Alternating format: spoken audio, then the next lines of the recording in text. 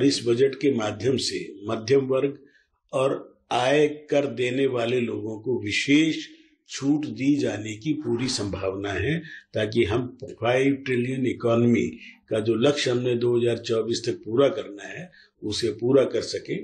इस बार के बजट में ज्ञान यानी गरीब, युवा, अन्नदाता और नारी के लिए सरकार कुछ बड़े ऐलान कर सकती है।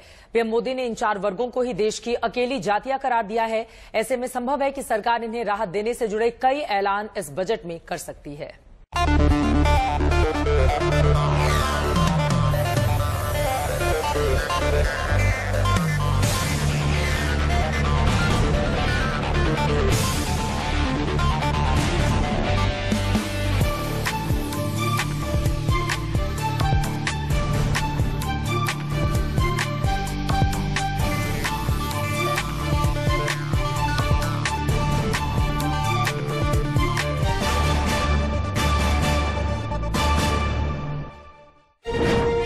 क्या अंतरिम बजट में मिलेगी खुशखबरी?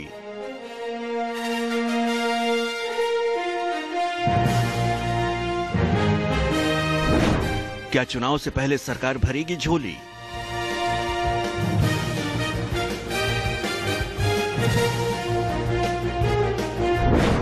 बाईस जनवरी के बाद क्या मनेगी एक और दिवाली?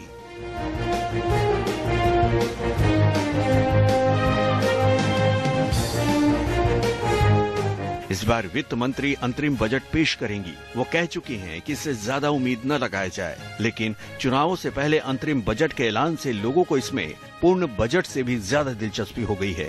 दरअसल 2019 के अंतरिम बजट में वित्त मंत्री पीयूष गोयल ने पाँच लाख तक की इनकम वालों को टैक्स से पूरी छूट देने का ऐलान किया था। इसके साथ ही स्टैंडर्ड डिडक्शन को चालीस हज़ार से बढ़ाकर पचास हज़ार और बैंक पोस्ट ऑफ़िस के डिपॉजिट पर टीडीएस को दस हज़ार से बढ़ाकर चालीस हज़ार कर दिया था।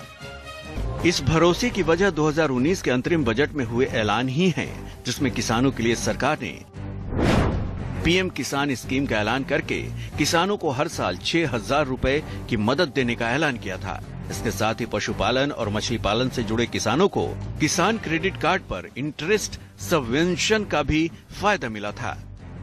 यानी जिस अंतरिम बजट को नई सरकार के आने तक केवल खर्च चलाने के लिए संसद की मंजूरी के लिए पेश किया जाता है, वो लोगों को कई तरह की राहत देने का भी काम करता है। इस साल पूर्ण बजट को चुनावों के बाद बनने वाली सरकार पेश करेगी।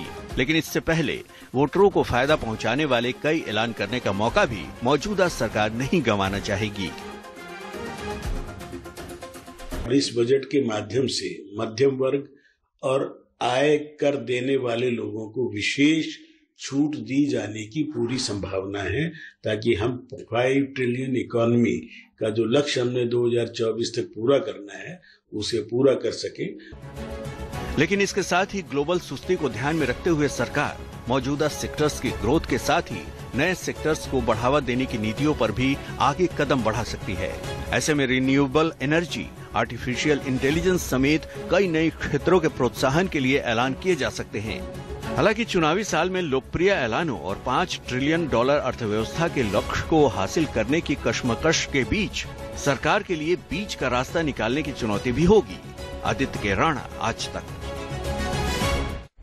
एक छोटे से ब्रेक के बाद कुछ और बड़ी खबरों के साथ फ़ौरन लौटेंगे। आप देखते रहिए आज तक।